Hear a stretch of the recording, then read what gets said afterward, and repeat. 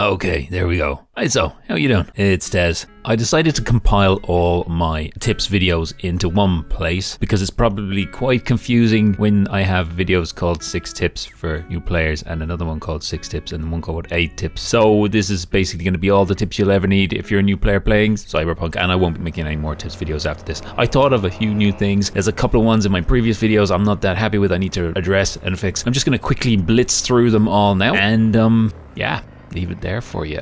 You don't need to bother with the other ones, just watch this one instead. Yeah, let's get on with it. Okay, the first one is great. It's uh, everybody probably knows about it at this stage. It's the apartment buffs. If you want to get more XP quicker, sleeping regenerates your health and you get the rested buff for one hour, which increases your skill gain, your XP gain by 20%. Additionally, if you have one of the newer apartments where you can brew coffee, that will give you the energized status, which increases your maximum stamina by 25% and increases your stamina regen by 30%. Pretty good. Who wants coffee? Showering is another good thing you can do.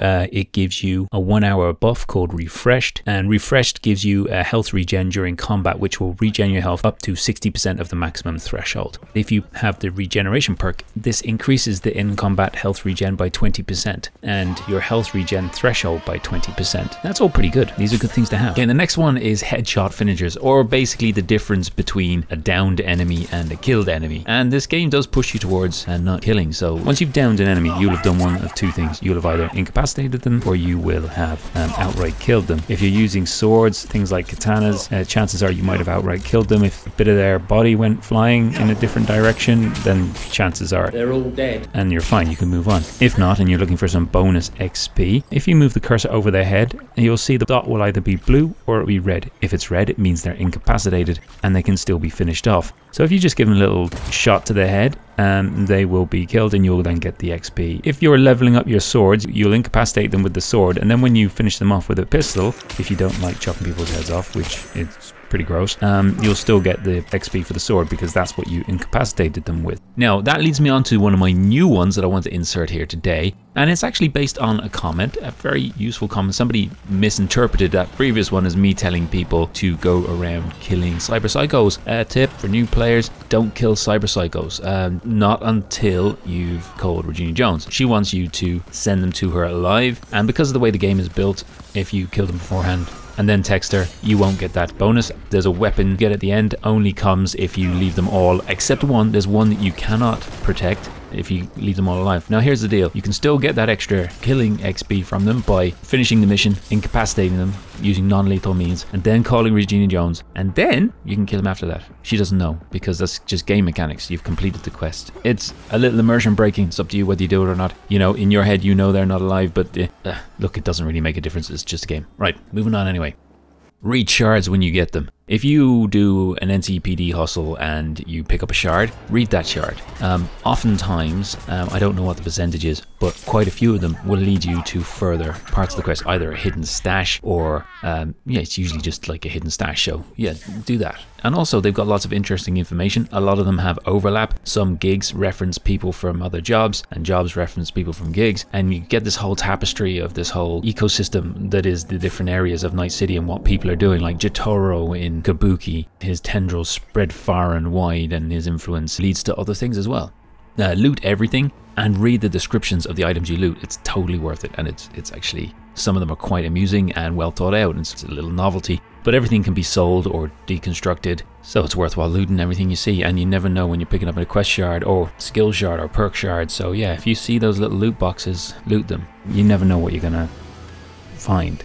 A really useful little tip, the mini map in the top right. You've probably worked this out, but it's possible you might not have, so I thought I'd let you know. When you down an enemy, you'll be able to find out where they are on the mini map in the top right. If they have something to loot, they'll have an X. The color of that X denotes the quality of the loot. If they're an orange X, then they've got something orange to loot. Legendary. If they've got purple, it's epic. If they've got blue, it's rare. If it's green, it's uncommon. And if it's a white X, it's common. It helps you find out where they are and it also tells you what they have. Once you've looted them and they've nothing else to loot, the X will go. So it's really kind of good for people who really want to get everything. Okay, exploring is good, both vertically and uh, around the place. Just take some time to explore the city. You can discover loads of stuff. There are still a few missable quests that if you don't explore and you don't take the time to listen and mosey on about the place that you can potentially miss. Don't ignore cyberware and perks. Now, it's very easy to slip into this game and treat it like a bit of a looter shooter. Go out and upgrade your gear based on what you find. If it's a Green Arrow, switch to it and just keep playing that way and play it like an FPS, I suppose. But don't play it that way. And especially on harder difficulties, you'll actually find that extremely challenging to a point of frustration because you're supposed to be using your perks and you're supposed to be using cyberware to enhance and upgrade your character. And it's the RPG element that is there. There's some really killer skills at the top of the perk tree. Some of them are pretty broken, like Jeepers Creepers and stuff like that, but uh, broken in a good way, of course. But you know, so don't ignore cyberware and perks because they really bring your character to life. Oh, here's another neat tip, right? For looting some things, right? There are things like drones and some of the robots and even some of the people. Sometimes they have a loot box on them, the little loot icon, but you can't loot it. That is a bit of, I don't know, some kind of clipping bug or something that you can't get to it. Um, with people, you can pick them up and drop them, and a little baggie is left in their place, like a little, uh, I know, Deliveroo bag of goodies. So you can pick that up. You can't do that with drones. I don't think you do it with the robots either. I guess they're too heavy, right? Here's the deal. Walk away from them far enough so that they despawn, then go back to them, and the little baggies will be there and you can get it usually on drones, unless you have the perk that gives you potentially weapons and mods, it's usually just components, but you know, it's still worthwhile getting. So get a bit of a distance away from them, come back and a little baggie will be left. Learn to ignore the bugs. Learn to laugh at the bugs, but don't expect a bug-free experience. This isn't Call of Duty. This is a, a, sprawling, massive city with so much interaction and stuff that it's just, it's the more you play, the more you see. You might get through a whole playthrough without seeing any bugs. So um, but either way, when you see them, ignore them. If they're game breaking, which is very rare, I've not had any game breaking ones since 1.5, but if you did come across one, that leads me on to the next tip, which is to save frequently. Now, not only does saving frequently let you, you know, not lose a lot of gameplay if there is a bug and, you know, you're not going to lose a lot of time if something goes wrong. Another benefit to saving is it lets you experiment. So you might choose a dialogue choice or you might choose an action in a game that isn't the way you wanted it to be or you want to see what it's like the other way you can retry other things. So, you know, because not everybody can do multiple playthroughs. They might only have the one, but they want to see the deviations when they're playing it through and then choose. Like, they might go, okay, I'm going to say yes to this character, and they play that a little bit, go, oh, I don't like that. I'm going to go back and say no to that character. You know, you know, the things we can't do in real life that we like to do in games allow yourself uh, one spoiler if you don't know anything about the game. Uh, look into the romanceable characters and decide which one you want to romance because that is completely impacted by your starting character, as in whether it's a masculine or a feminine V, which one you can romance. So if that matters to you, look at that beforehand because you don't want to be 40 hours into the game and realize this road I thought I was going down was actually uh, not possible. I am barking up the wrong tree, you might say. Don't skip the blue dialogue options. They're definitely worthwhile doing, unless it's something you don't want to say to the person and you're RPing it. But they usually open up different paths of conversation and they expand the story and they're really well acted. So yeah, definitely don't skip them. Um, don't rush through it, you know. Don't rush into your attribute points. Only fools rush in, and I was a fool in my first game. For example, if I would come across a locked door and I only had 4 out of 5 tech skill and I needed 5, I would instantly put the point in tech skill and then I would open that door, find a bit of loot, instant buyer's remorse. I should have held on to that attribute point. The same in conversation trees. You might find you're having a conversation with a character and there's an option there that's grayed out unless you have a certain skill in that area. And again, I would pump the attribute point into that attribute and straight away realize it was just a nice thing to be able to say there may have been some kind of calculations being going on in the background that, well, because I chose that option, things will happen different down the line. But it's very hard to justify that kind of expenditure. And the reason is, when you're indiscriminately spending your attribute points to open a door that might just be hiding some loot or give you an alternate route, or talk to someone, you're actually mortgaging your future when it comes to when the game gets harder or when you want to say max out a skill tree. If you've got points everywhere, you might find you can't max out the skill tree you want to max out and you'll miss out on some of the best perks that skill tree has to offer. It's not such a big deal in your first playthrough, but in your second playthrough, bear it in mind in a big way because your second playthrough and maybe even your first playthrough, it's really fun to experiment with the different areas. So wait and see what you want to spend your points on. And if you want to see what the conversation choice would have been, save it spend your point, do the conversation choice. If it doesn't lead to anything in particular, well then you can go back to the save point and at least you got to see it. Tap tab when you enter a room. Basically, tap your Kiroshi optics, whatever that is on the console, it's tab on PC. it'll highlight your enemies, it'll highlight hackable things, lootable things. Basically, it puts loot glint on everything. And this is a game where you want to loot everything, you want to read everything, you know, all the uh, uh, all the shards will show up and at least in your range I kind of get a bit obsessive about it but you know if you just want to tap it a couple of times when you're looking around it really helps show you where things are without you having to get close enough in range for them to pop up.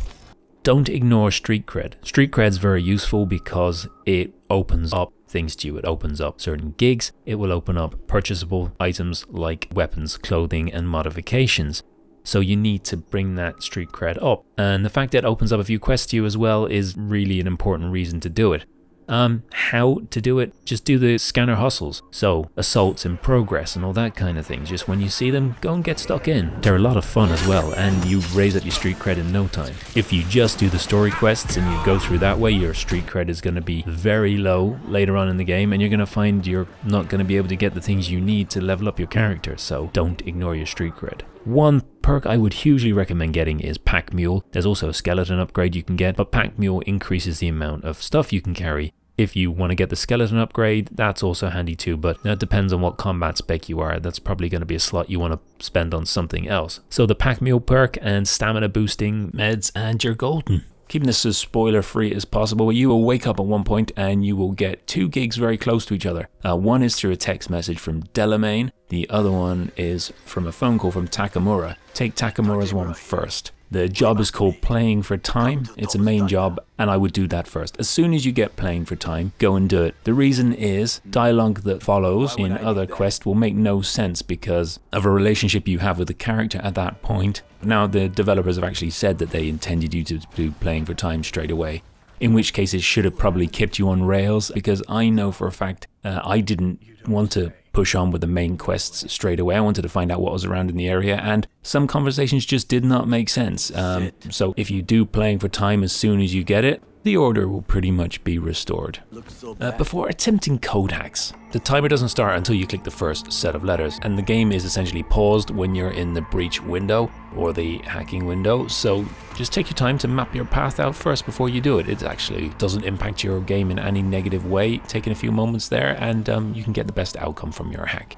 Now, for those of you uh, who require such a thing, say making videos or, uh, you know, you've got people that might walk in that you don't want to see things, uh, there is a nudity censor. You can turn it on and off, but you can only do that from the main menu. When you're in game, you can't turn it on and off. As you can see here, when you go into the settings from within the game, it is not there. But that doesn't mean it doesn't exist. You have to quit back to the main menu. When you go into settings, you'll see it's there. And then when you start your game again, the nudity censor is in place. Oh, this is a really cool one. You can use the holograms as a flashbang. Holy you shit. can shoot them and you can hack them and they will explode. You can use initiate overload to hack them and they are an all powerful flashbang. It's just a bit of fun. Um, you might not have noticed you could do it.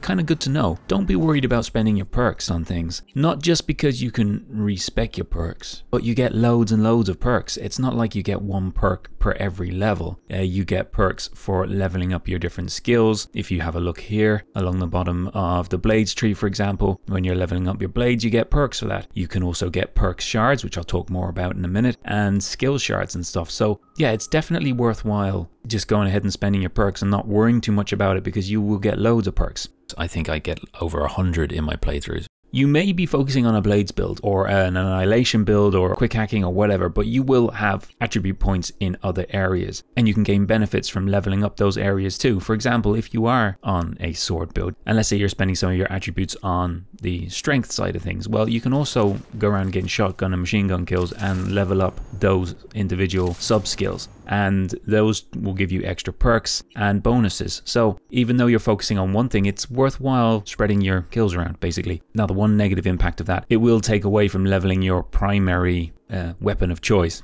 If you can see here, I'm, I'm still not hitting 20, uh, the level I'm at on my blades, on this blades playthrough, but it's my blades is still overpowered and deadly, so I don't really need it. So yeah, it's, it's good to play with the different ones and, and level up all the different things and you can make sure they're maxed out to whatever they can be maxed out to depending on your attribute score. Okay, so don't be afraid of trying the very hard level. Something I found playing it is that early on you are very fragile, very squishy, and you can get taken out pretty easily. And even later on in the game, unless you're investing a lot in tech and having really good armor, you can still be pretty squishy and you can be taken out in one or two shots from certain enemies. So it requires you be a lot more tactical at times, but it's actually a lot more fun. And as your weapons and your skills all level up, you'll find that you're being just as devastating to the enemy. So it's pretty cool. The challenge is good. First time round I didn't play on very hard and I still found it difficult. This time I'm actually starting to find it very easy on very hard as you can see here. One thing that I wasn't sure about when I first started playing and I actually had to look into because it's not immediately clear is what's the best route to follow uh, within the city with regards to your level and story progression. What flows best? Well, the key is if you primarily follow the main story, that'll lead you around to the areas you kind of need to be for the most part anyway. That doesn't always hold true, but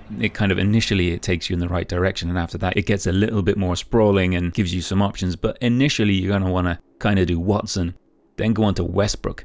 And then after that, you'll find that the quests take you towards Pacifica, Santo Domingo, and the Badlands. And then after that, you're kind of centering in on the main city area. Uh, so you're doing Heywood and the city center. They would be where you find the best Ripperdocs and all that as well, and the highest level enemies. So it's definitely kind of the flow. So Watson, Westbrook, Pacifica, Santo Domingo, and the Badlands, I kind of do interchangeably. Then Heywood and the city center, again, I kind of do those interchangeably as well. Um, a lot of my videos are focused on crafting um, and how to make money with that, but there's one tab next to crafting that I make sure not to miss, and that's the upgrades tab. Take the black unicorn, for example. This is how it starts out. You can level up this, and you can keep leveling up throughout the game, and it's amazing. It's not necessarily my favorite, but it definitely is very good. Um, let's say you find that piece of clothing you like and you like the style of it and you want to keep leveling up. You can do that. Now, it's not very efficient to keep leveling something up. You can craft a new version of it later on when you've got more advanced and then you can keep upgrading that one rather than spending all your crafting components as this thing gets higher level. As the game goes further on, you'll start finding you're looting things that are better than the thing you're upgrading. But early on, definitely upgrading things is a good way to go. And there's certain weapons like the Black Unicorn that are absolutely worth continually investing your crafting materials into upgrades. So uh, yeah, don't ignore upgrades. It's definitely worthwhile doing.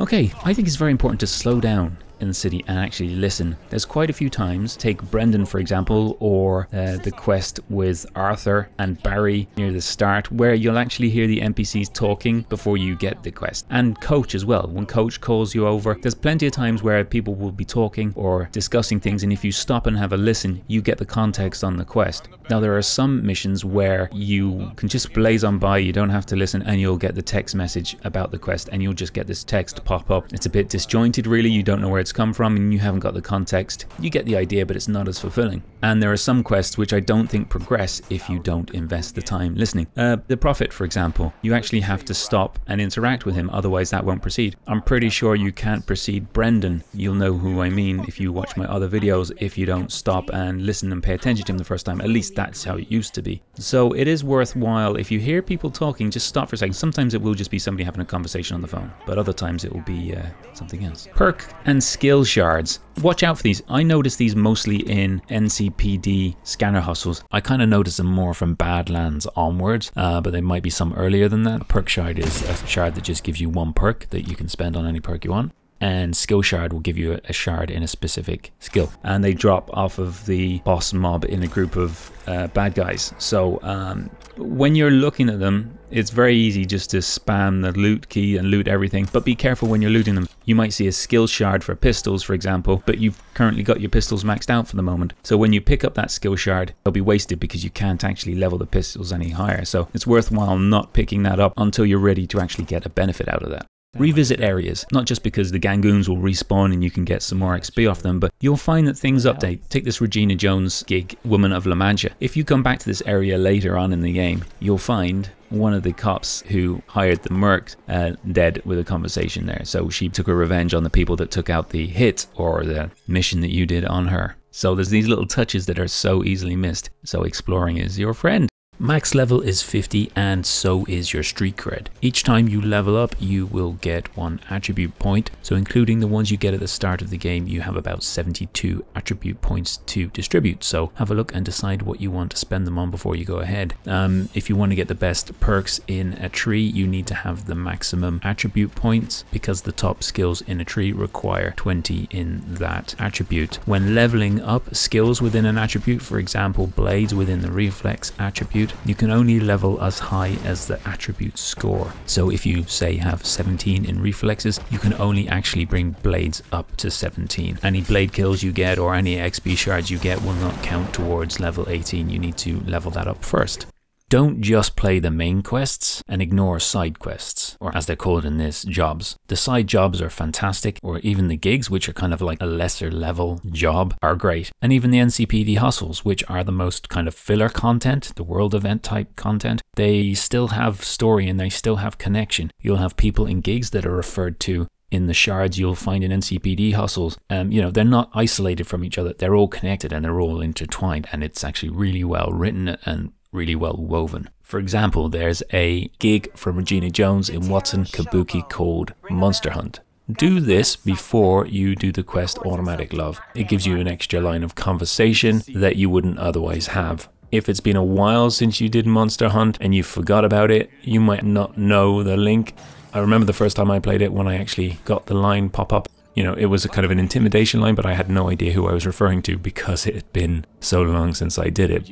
So pay attention to the gigs, who the people are in it, and uh, and it will make sense. So do Monster Hunt before you do Automatic Love, and maybe do them close together as well. I would say, and this kind of comes in contrary to my other point about not ignoring gigs and NCPD hustles, don't do all of the NCPD hustles before moving on with the main storyline because you're going to over level for the main storyline. So kind of do enough until you kind of feel like moving on. Don't be compulsive. What I tend to do is I will come back after the game when I'm either on the very final mission or when I've come back after doing the end game and I will work on NCPD hustles for fun and experimentation and things like that. You don't need to do them all. Gigs, I would almost do all the gigs, yeah, but NCPD hustles, no. I wouldn't try and do all the NCPD hustles. You will be over leveled for the main quest, and you'll just feel like you're kind of just going through it with no threat. I wonder, did you know this? Do you know you can access your stash from the trunk of all your vehicles, even your bike? I know it doesn't make sense that you can store a gazillion weapons in the back of a motorbike, but hey, you can. So just go around to the back of it and you'll see an option to either open the boot or trunk if you're in America, or open your stash. One is just the animation of opening the vehicle's trunk, and one of them is uh, accessing your stash.